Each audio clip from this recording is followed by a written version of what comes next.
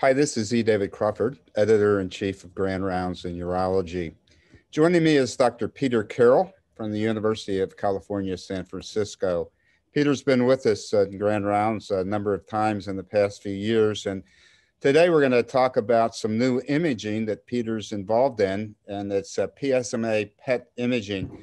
Uh, and I think about my career in urology, I go back a number of years when our imaging for prostate cancer was plain films and we were looking for blastic metastases.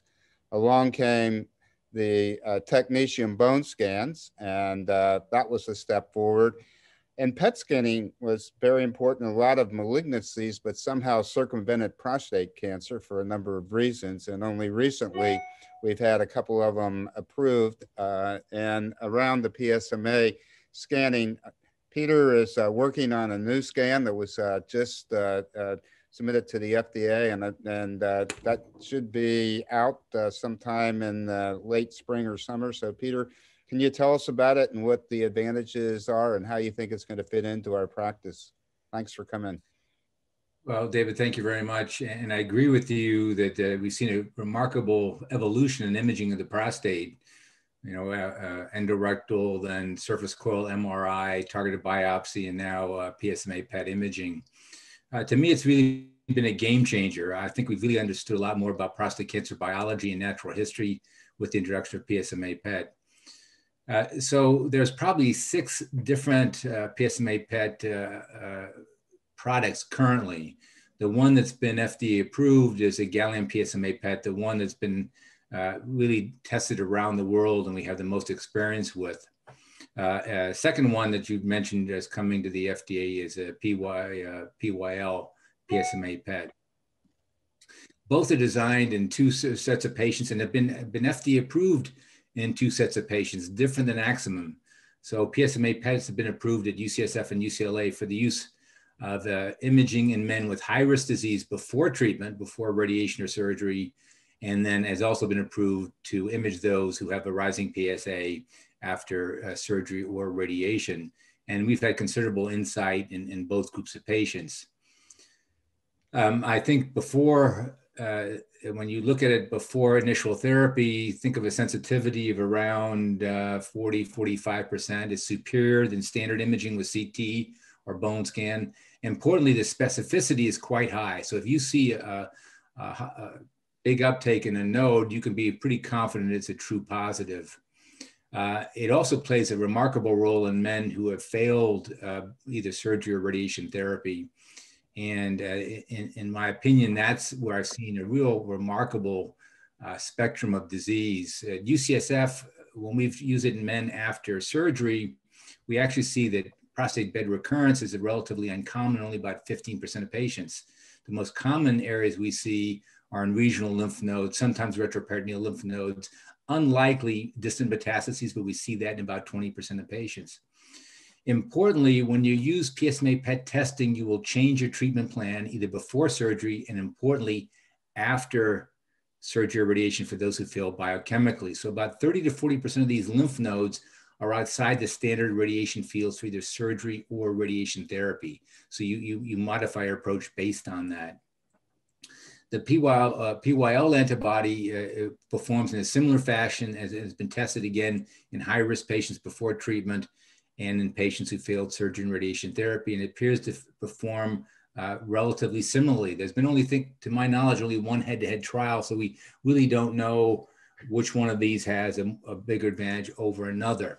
However, the PYL antibody may have a bit, bit better resolution and has a longer half-life. So it may be that with the PYL uh, uh, product, it'll allow for kind of centralized distribution. You may not need a generator on site to, to use it. So there may be some specific advantages to PYL antibody uh, compared to gallium 68. Great. So um, this, uh, this uh, a question. So what happens if um, two years after a radical prostatectomy, somebody's PSA is going up? And it, is there a is there a low cutoff that you have uh, above which the the test works better? So is it like one or 0.4 or what? Is there a difference between the these tests? There, there is, a, well, I don't know if there's a difference between tests, but in general, we look for a cut point of around, uh, uh, you know, 0.15 or higher. At very low PSAs, you're unlikely to see anything. So obviously, the higher the PSA, the higher the sensitivity. But I, I think of a cut point of about 0.15, 0.2, you'll get a reasonable sensitivity of around 40 to 50%.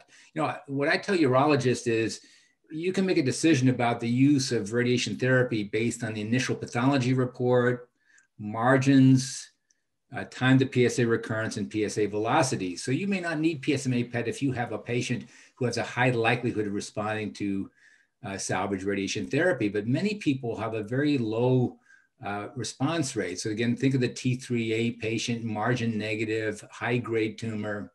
These are the patients where in my mind, the imaging may play a more important role because it allows you to identify disease which you could you could miss otherwise.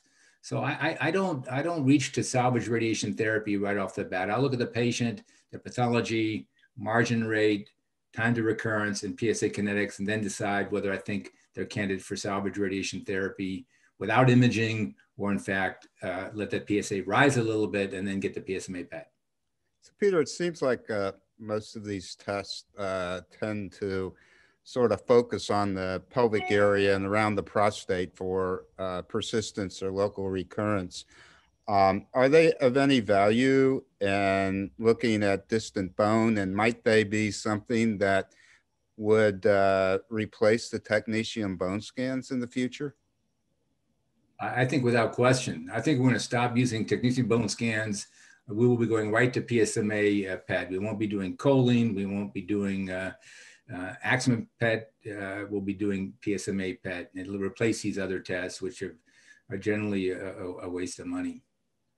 So it, it, there's a difference where these things are excreted. Uh, does that interfere with your being able to image, uh, particularly around the prostate and the, after a radical in the anastomotic area?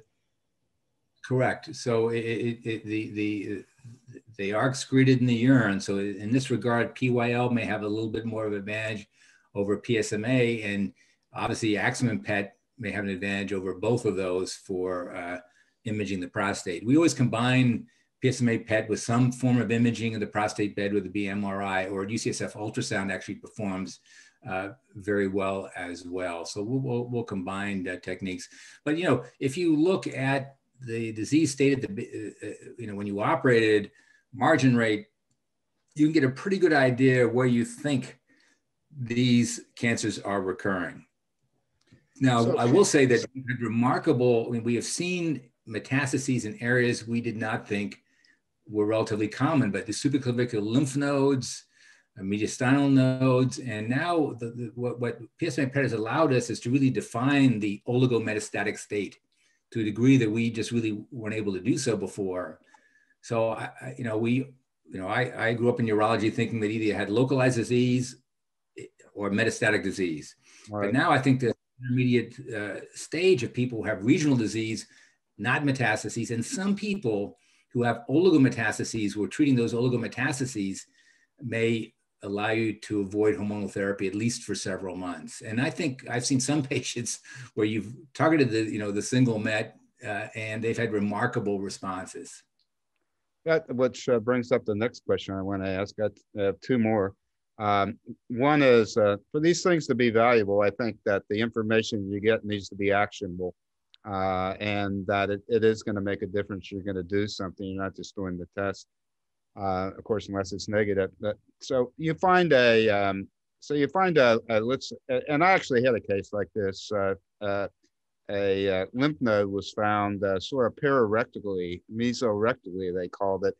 And um, is that something you go in and take out, or you radiate it? How do you manage? How do you manage what you find, in you know, in and around the prostate and the pelvis? So a great question, and you know, pararectal lymph nodes are not uncommon, and we see those. So I, I think a, a, couple of things. Uh, I think there's no question it changes your approach, whether you change your lymph node dissection or change your radiation fields. We change your radiation fields actually quite commonly based on PSMA PET. I think that the, the, the real question is, did, did it make a difference? So I can tell you that you, we change our approach, but what we don't yet, does it know, does it have an impact on prostate cancer specific survival or overall survival? That's, that's unknown. Whether you operate or radiate is still unknown. I, in my practice, for those people who failed regionally in lymph nodes after surgery, we've tended to use more radiation uh, and then consider surgery than upfront surgery, but we've done it both ways. The one Uh, patient, important- I was going to say the one patient I had, and this was about with a, it was with an Axumin scan about three or four years ago. We treated him with uh, focal radiation chemotherapy, and unbelievable, he still has an undetectable PSA. What about the the last question I want to ask, and, and I saw this happen a couple times too, are finding other cancers um, that are not prostate cancer, like rectal cancers and uh, lymphomas, things like that. Have you had any what, what's your feeling about that? Is that pretty uncommon or is it common?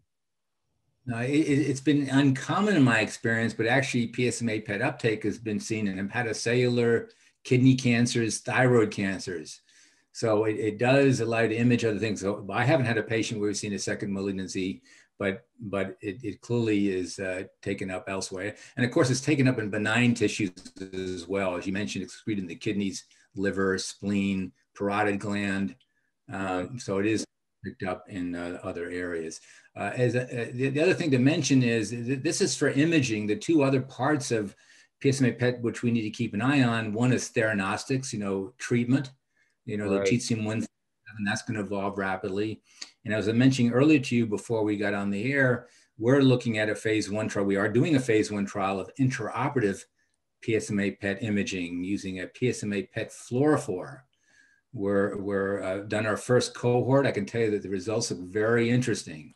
This is a, this will be well adapted to the uh, Firefly advanced Firefly camera on the robot. So I think that's another area for us to look at. You know, I think we've been unable to show the therapeutic value of lymphadenectomy because we didn't know which lymph nodes to remove. You know, we, we, we you know testable hypothesis, but it may Mhm. be that intraoperative PET imaging will allow us to excise the prostate better with less morbidity and perhaps better remove regional uh, uh, disease. It's uh, this this whole this whole area is uh, is interesting. Anything else we uh, should be talking about? Uh, really appreciate your time. Now, stay tuned. I, it's been a remarkable, I think, a remarkable ride on advanced imaging. I think, as mentioned, there's a lot of different products coming out. I do think this will be a mainstay of evaluation very soon. I think it'll be rapidly uh, taken up by other centers.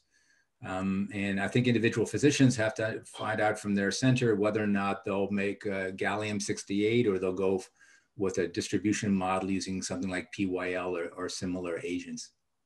Yeah, one of the uh, th- I just thought of something else is that I've seen a couple of patients uh, having difficulty localizing uh, where the, the cancer is in the prostate. Uh, people being considered for focal therapy or things like that, where that the scan has actually identified the lesion very nicely in the prostate, and uh, at radical prostatectomy, it, that's where it was.